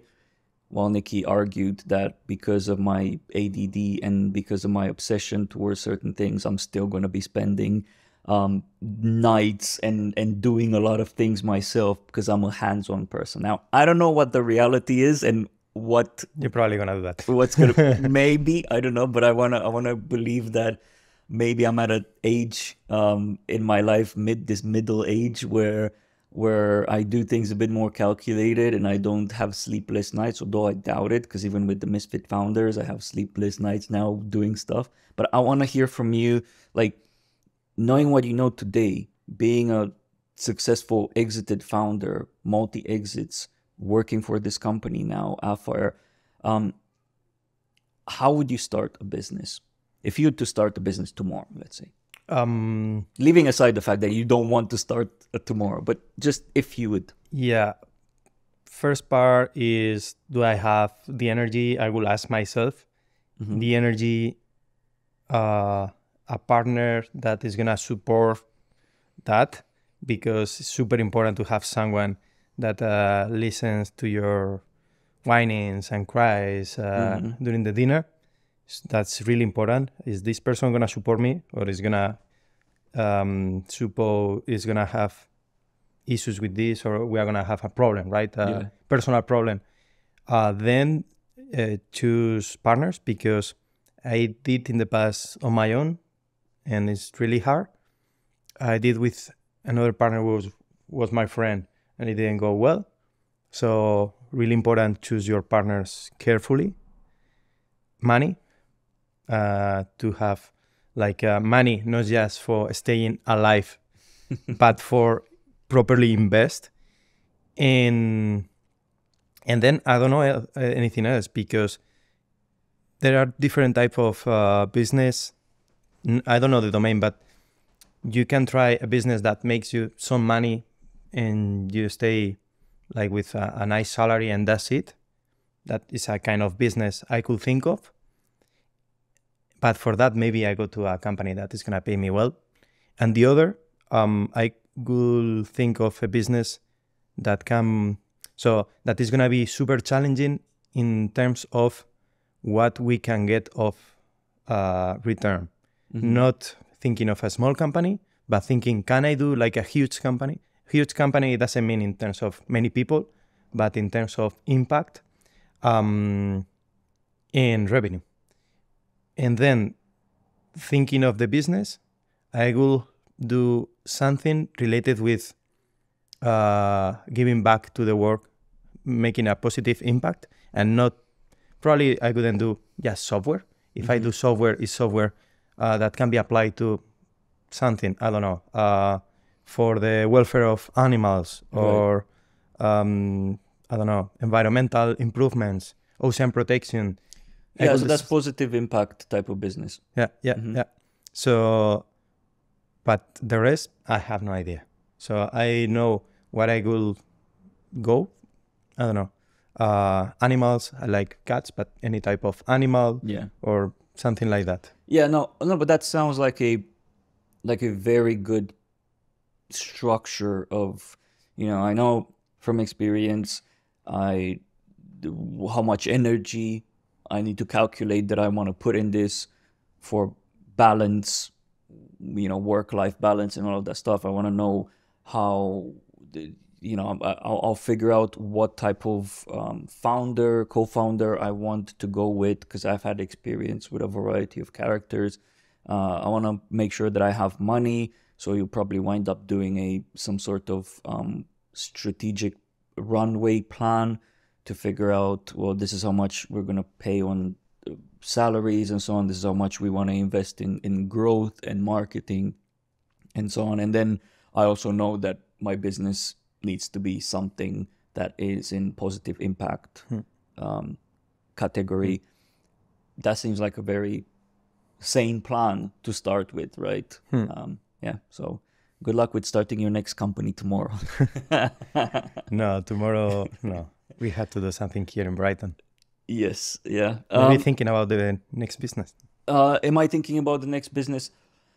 Well, right now I'm focused on the positive impact thing that you mentioned. Um, I'm focused on Misfit founders. Apart from you know being part of the same company, Appfire and focusing on on delivering value there, I'm also doing this entire Misfit founders and initiative to help fo- uh, founders, and I think that's going to be my future uh, in a sense. I I think I love giving back and I'll try to to give ma- back as much as I can while also sustaining myself. I think that's where I'm heading in a sense. Um, I you know I've never thought about this whether I want to do something big, you know. Oh, I want to I feel that I'm in in such a good financial place and stable place right now that I don't have that attraction to, let's say, building a billion dollars company like I used to dream when I was young and I was like, yeah, I'm gonna build this and so. Um, I mentioned if I do it. yeah, Not that I'm gonna try yeah, it. yeah, no, definitely. Uh, Yeah. uh, I think that's where I'm heading 100%. I think eventually, um, I will build a business. Whether again, whether that's a significantly larger business that Jigsaw was, I don't know. I'm not sure that that should be my focus. I'm not focused on money, on revenue, on financial growth. I want to do. A, I want to have a bigger impact. Hmm. That's all I know. I want to have a bigger impact. If that means I'm gonna be able to support myself, then be it. I don't think I'm not the type of person that needs more wealth. Hmm. Like that I need oh I got this many millions, I need ten times, a hundred times more, like some founders do, right? Hmm. There's some founders that have an exit and then they set their vision on 10x or 100x the exit that they had. Nothing wrong with that, but I'm not the kind of person like I I need to feel that I'm having an impact. That's very important to me. And that's what keeps me awake at night in the sense of doing stuff. there is one sentence that Roberto told me once, and uh, I loved it. Is that never try to be happier, because you are gonna be always Miserable. yeah. uh, and and that's the idea. Is no, I want more. I want. You are gonna be always a sad person and miserable. Uh, are you happy? Then stay that way because you are happy. That's the what we are looking for, right? Uh, to to be happy. And I- I've seen um, like two main aptitudes in people, founders, and but also people that are not founders. But um, one that is you can be grateful or resentful. Maybe many people are resentful and try to trying to be happier uh, and stepping on others, right? And I don't know. I think that's sad. And right now, I'm happy. I don't need looking for. I don't need to look for something bigger. I'm happy. I'm learning. Uh, I got a good position, also financial position. So um, yeah, why try to screw that, right? Yeah. And I completely agree, and and I think that's what that's what the and I do think that that is a character trait in a sense, a personality trait, because there are people that are constantly hungry. I can say that I'm constantly hungry, but also satisfied with where where I, where I am. I I recognize that I can live in the moment. I can live today and appreciate today a lot. I'm hungry for doing more, doing better. Um, I'm hungry for helping more and having a bigger impact out there. And I think a lot of us are entrepreneurs are kind of like curious and hungry, Hmm. uh, hungry people. Now it depends on what you're hungry on.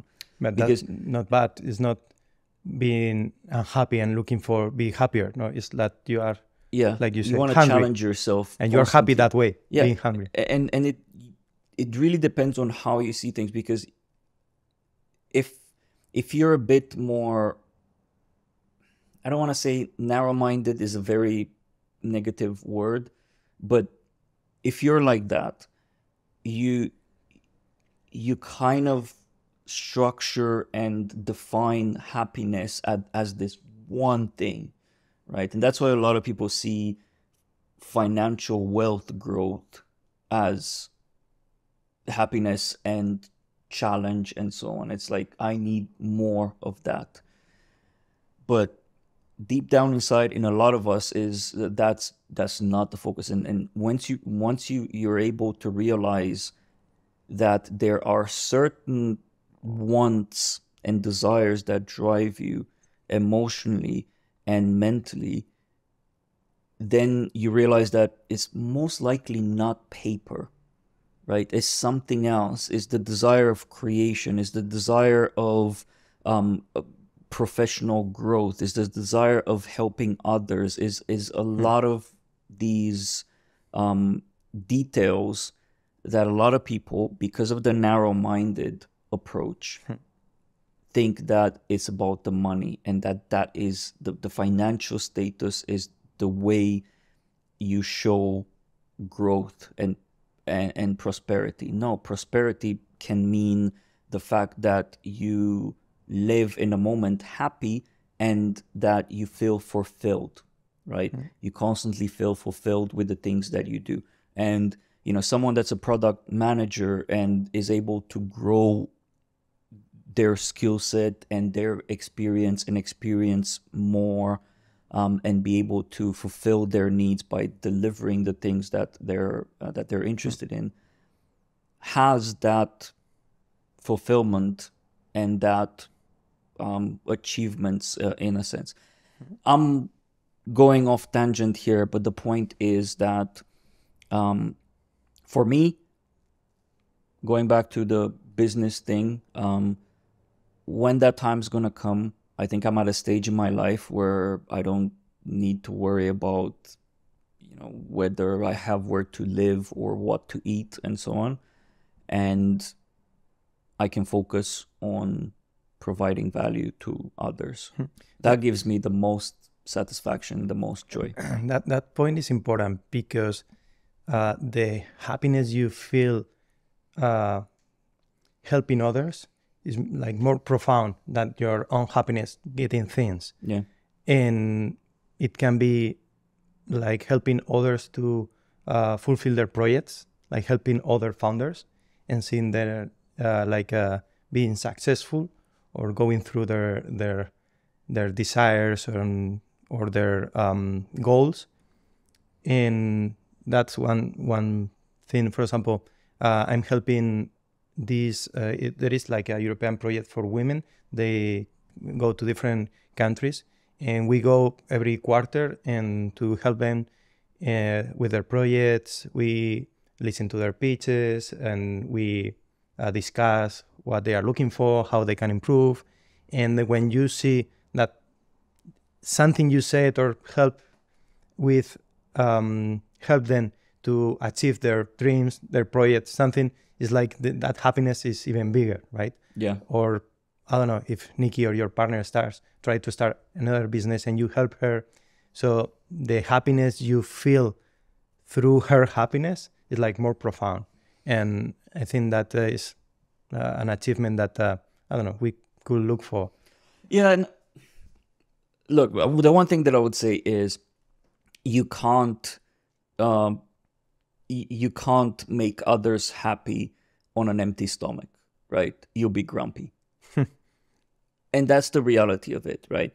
Because you know, as much as as you know, talk here and say that it's not about the the financial, it's not about the money, it's not about these things, and it's the focus is and what gives me satisfaction right now is seeing others succeed and that gives fulfills my heart with joy that's true but fundamentally if i didn't had the means and the, the, the financial well-being to be able to focus on this it will take away from it Right. it would be significant because I would need to focus to to to uh, spend part of my focus in making sure that I survive, and that's you know that's what I've done before exiting before selling Jexo. I did had a couple of mentorship, mentoring a couple of people. You know, we've done the startup support group that we had in the um, Atlassian world, but my input was very limited, mainly because I had to survive and make a business work and the stress of that because it was like it, it's a high stake game in a sense. You're building a business You are betting everything. you, yeah you like i i don't have any resources. I've came into this country with a backpack. I've not had any wealth at all. And i've been building a business um, with no savings nothing living with rent and so on. So it's high stakes. If this fails i need to go back to the drawing board from zero from scratch right? So when that happens i can't be ignorant and say it's all about you know giving back value and so on. Money doesn't count. Money does count when you're at that stage and you can't really hmm. afford to do big financial fuck ups because then you're in a position where you can't help anyone else. You can't even help yourself and you need to figure out how you can help yourself before helping anyone else.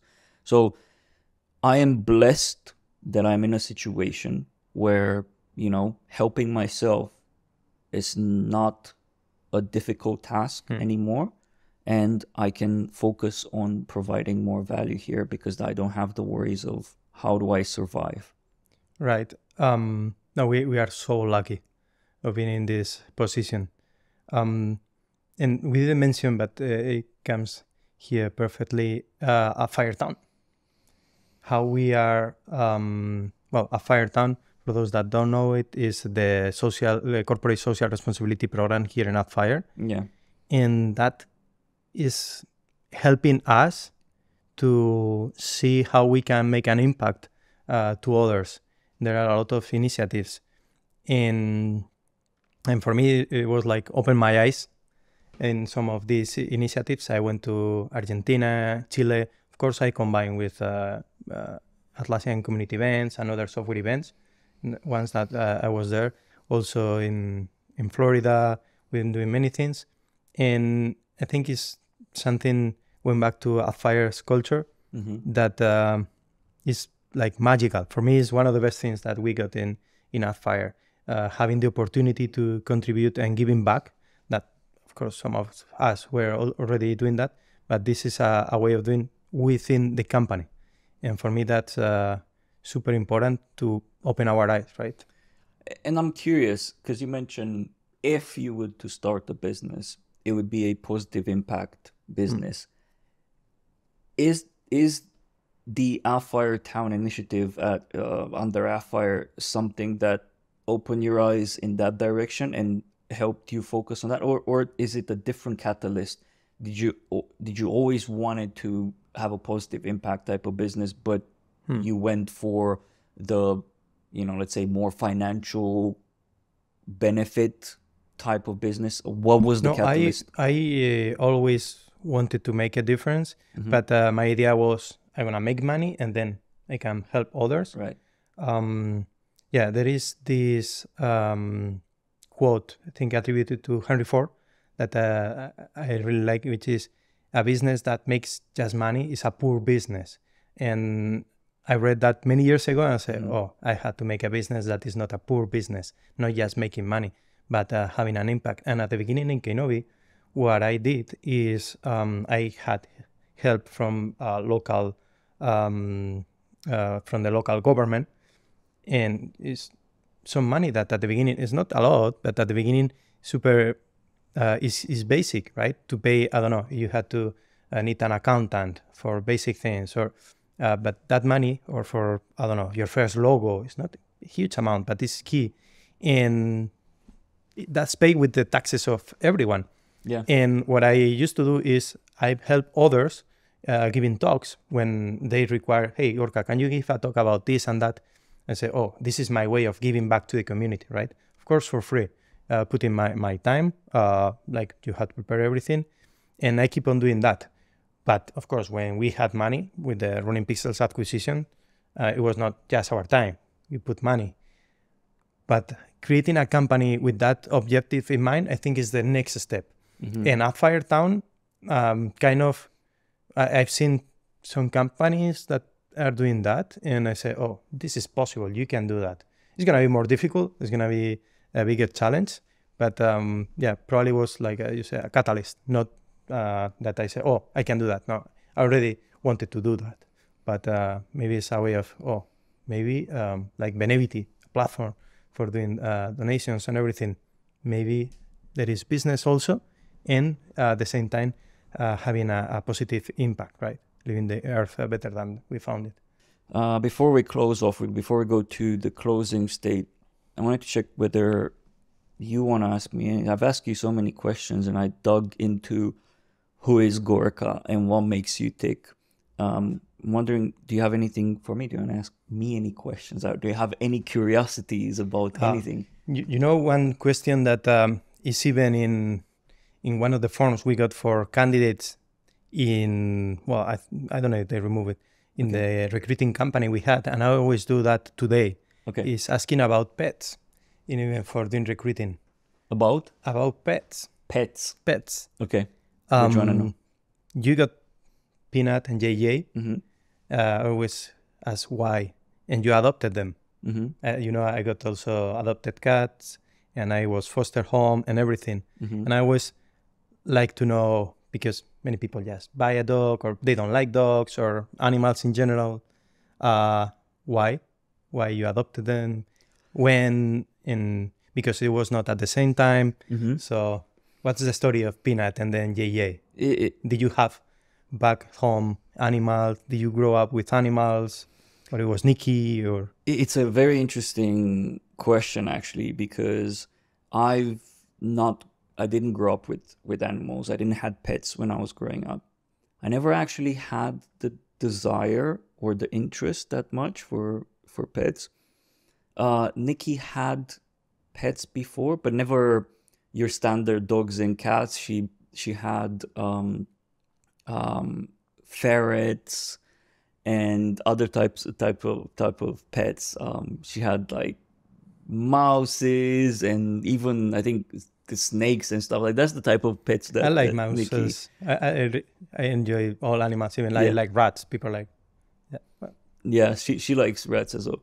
Um, to, to be fair, they're very intelligent um, creatures, but I didn't, and I think the one thing that we realized very early on is it because it was just the two of us um, in our relationship and in a business, right? We were we started Jigsaw, um, and we got Peanut at the beginning of um, sorry at the end of 2019, beginning of 2020. Um, this is before just before the pandemic. So Peanut is not a pandemic dog, okay? Although peop some people think that before it was before pre-pandemic. yeah, pre-pandemic. But the reason why we got her was because one, we knew that we have a lot of affection to give, and we wanted to, you know, give affection to another creature uh, apart from her and I, uh, in a sense, as a, as a uh, couple. And second, because I was training and I was going to the gym and and so on, I I knew that having a break, a mental break from uh, work is very important. And at that stage, we were working so much. We were working for a previous company that we were employed. We, we were working for our own business. So basically, work was a really big chunk of our time spent together. I had gym. Nikki was going to the gym at that point. So we had like an hour per day of just meditating and focusing outside work. But we knew that we needed to focus our attention somewhere else as well. And giving affection and caring for a creature, and basically a dog, was the answer to all of hmm. that. And to be fair, you know, as as much as I love taking care of of Peanut uh, in the early days and um, just giving her a home and a, a comfortable life in a sense. I feel that I took so much out of having Peanut around and just like in my darkest and and most stressful days to be able to get off of that desk and just go and play with Peanut is, is has done wonders to my mental health to be honest. So so I think that was it was it was selfish as much as it was you know well we have we want to give more we want to give affection and we want to care for for a creature. It was also selfish because we knew we are going to get so hmm. much more out of it. And then our second dog jj which we got five months ago four months ago was because we were getting a bit saddened that that peanut was all like Alone. alone. And we, we we've seen her in the very early days how how much affection she has to give to humans but also to other dogs and how interested she is. And because we work we wanted to fill her time rather than her sitting there and sleeping sometimes miserable because we're working um, for her to have companion. And that was the reason why why we got jj we wanted um, peanut to have a sister. Yeah, I always recommend at least two cats, two dogs, two something, so they can be together. yeah as you said, at the end, can be seen as something selfish because you need them. yeah yeah Um, yeah, with my cats, I also, when I'm nervous or stressed, I th- there is a cat always around hmm and put my mind in a peaceful state of mind. Right, I can touch them. Also for sleeping, I sleep better and everything. Um, yeah, yeah, they are the best. So we can say that um, pets are a very big um, resource to have as a founder in in in your organization. Yeah. like pets are a, a cure in a sense. I, I would recommend every single founder to have uh, at least two cats, two dogs, two Yes. something, Yeah. two two mouses, me, mice, or Um, okay. I don't know if that. Hopefully that answered your question. Um, yeah. Yeah. Is there anything else? Um, another thing I would say for founders is, uh, you said, doing an activity, a hobby Yeah. out. can be a sport. It can be, Mm-hmm. uh, I don't know, um, dancing. It can be Like you. like like me. Uh, yeah, I, I do. I like um, grappling, Brazilian jiu-jitsu, wrestling. Um, although I don't like to fight, like with competitors, that sometimes they, they like to to have a put out a fight. I prefer to treat everyone with respect. yeah. Uh, and, and it's not that I don't like to fight. I like to fight, but in the tatami every week, but not uh, with a People tend to think that um, fighting, uh, doing a, a, a fight sport is is an aggressive type of thing, and but it doesn't have to be. I think there's a lot of people that that do it for their um, well-being and for the mental well-being, physical well-being, and some of the fighters that I met um, in the past have been the kindest people um, you know, outside the gym, not aggressive, not hard headed or anything like that. That's usually the rule. Yes, yes, I would say yes. We get a, a code of conduct, or, or yeah, because there is a lot of respect when you are in the tatami, uh, in the mats, Yeah. uh, with other person. Always respect, and you take that respect out. You have to, because at the end of the day, you're representing that sport, and you know you have to have a certain uh, conduct. You have certain, you gain certain skills and certain knowledge around, you know, fighting and you know contact and things like that, and you need to use it wisely on the mat, not, you know, enjoy your take advantage of it or uh, misuse it um, outside of outside of the the gym. And I think that's why you do have to have a code of conduct outside the the mat as well. yeah, yeah. Our values uh, in in Fire, uh, we apply them not just internally, but uh, outside. The first is be human. Uh, so Yeah. yeah, it's like having uh, the Bushido, no, uh, the way of the warrior, or uh, Chalbari, Europe. So it's a code of conduct of just being a better person. And you're also into uh, i would say uh, that you're into japanese culture given the names of your companies Yes, yes, i don't know are you yeah, yeah. I am, I am. I, I like the the Japanese culture. Mhm. Um, I'm not an expert in Japanese culture, but uh, I really like it, and I've been once in Japan. I hope to go back soon because I wanna go there again. And yeah, all my names have something related with uh, the Japanese culture, Japanese words. Uh, yeah, uh, K Novi was K and Novi, like a system that stretches or, or grows. Um, then the cannabis one is Taimatin. Taima is weed in, in Mhm. Japanese. Uh, Ronin, uh, Ronin Pixels. Eh, uh, ronin was a, a, a warrior that uh, for some reason uh, doesn't have uh, um, um, uh, a master anymore. Can be because he's dead or in, in the fight or something. Um, yeah, everything. Yeah, I put, even your tattoos look asian yeah, they, they are Style. A- Asian style. Yeah, they are. And I got my ta- my cats tattooed. yeah i feel that you might uh, eventually move to japan and be like okay now i now i live here i, I love this culture so much Um, I like the culture, but uh, I really enjoy being close to my family, my friends. Yeah, Right. Yeah, yeah. So before closing off, I have this ritual. Um, I'll ask you three questions.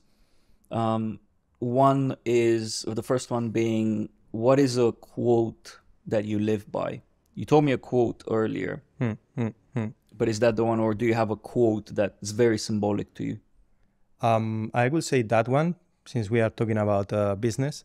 A business that makes nothing but money is a poor business. Yeah. Yeah, I will say that one. Yeah, that's that, that's very deep and i think that's with my career as a founder and entrepreneur i am at that stage but i feel that so many times um, with so many other businesses in my early 20s it was around about making money. And this is one of the things that i also want people to realize that you evolve as an individual. And if you're in your early 20s and the one thing that you can focus on is financial benefit because Yes. you come from out of it that's perfectly fine. That doesn't mean that that is your future and that doesn't mean that you should be feeling guilty for wanting financial stability and that that's the reason why you build the business. And i see so many people when i when i talk to people when they pitch me their businesses as an investor when i ask this question around what is your goal? What's your purpose? Your personal goal with this business and people kind of hesitate to to say anything about the financial part of it and they try to think deep about very deep meanings and so on. It's like no like you're if you're in your early years or even later if if you there's something that you miss which is financial benefit and you're starting a business to get yourself better first that's perfectly That's fine, fine, yeah. um, i don't want anyone to feel guilty the fact that they're building businesses but you evolve like i've evolved to a point where yes a, a business um, it for me is not a business if it's just financial and it doesn't have any meaning. Um, so yeah that's really good. Second question what's a book that changed your life? That be it pr- yeah th- that uh, changed or impacted your life. We can say impacted as well. It can be personal life or professional life? Um, probably from Nassim Taleb, uh, Black Swan. Mhm. Uh, although I found it kind of difficult to read, okay but the idea of uh, how luck and the black swans impact um, is like that opens your eyes. It's like okay, it's not everything that I had to be prepared and I had to be really good and do everything right. Is that um, can be situations that uh, are gonna change everything. So be protected for those. Um, uh, but uh, they got he's got several books that uh, talk about luck and the black swans and and yeah that uh, kind of okay maybe I'm not 100% sure of this that I'm gonna do in my business. Maybe something wrong can uh, happen, and I have to be prepared. Yeah. So the did that book uh, help you with realizing Well, that the- there's he's there's got Fooled by Randomness, Black Swan. Yeah, he's got several ones. Huh. the did that help with realizing that is not just about your skills or your preparedness that it's sometimes it's luck and it's just being in the right place at the right time because i feel that's one of the things that people don't realize and i haven't for a very long time when i was like well if i do everything right then i'm going to be successful. When it's not the case. No, it is not the case at all. Um, in my case, I was really lucky several times, and even with um, I don't know the, the acquisition of Ronin Pixels, um, if that could happen maybe today, maybe the situation is worse everywhere. Maybe we were not part of Appfire, right? Because it was just one year later, and not because our product, our uh, abilities, our skills. Uh, it was because the market was different and gone. yeah So yeah, Very, very true. Um, great books. Sounds like I haven't read them, but um, I'll get some links from you. Um, see what's interesting there. And the last question is: What is a good habit that you advocate for? good habit. Mhm. Uh, I would say really good habit around health. Uh, first, what you eat, that's key. Well, but um, you see this everywhere. But uh, that's the reality. What do you eat? How long do you sleep? And do any sport every day. Every day. I really need that. Um, yeah. If I don't have that, I don't work the same. I'm not as cheerful as I can be. Uh, and my mind, the only moment in the day that um, like is not working 100% thinking of problems with whatever of my work is when I'm doing a sport. Yeah. Yeah, meditation is very important for for for mental mental mental health. Yeah. Yeah. and and fundamentally, physical health can help with um with your mental health significantly. If you feel good physically, it impacts the way you think and and your mood that day and everything. So I think because I'm I exercise as well. I think exercise and the act of training is a good meditation piece to have every single day. But then your body feeling feeling well is also a good um, good for your mental state. And your your health, you are less likely to to be sick, Yeah, and that helps a lot. And sleeping is also key. really good, really good advice. Yeah, Thank I you so much, Gorka. This is really good. Um, I appreciate you coming all the way from Spain to My do pleasure. this with me. Invite me more times. Yes, and uh, really insightful conversation. I know that we'll probably have some more. Um, you're part of the uh, Misfit Founders community, and um, we'll probably get an um, Ask Me Anything session Sure. done with you as well. And again, thank you so much for My joining. pleasure. And uh, yeah, we'll see you in the next episode.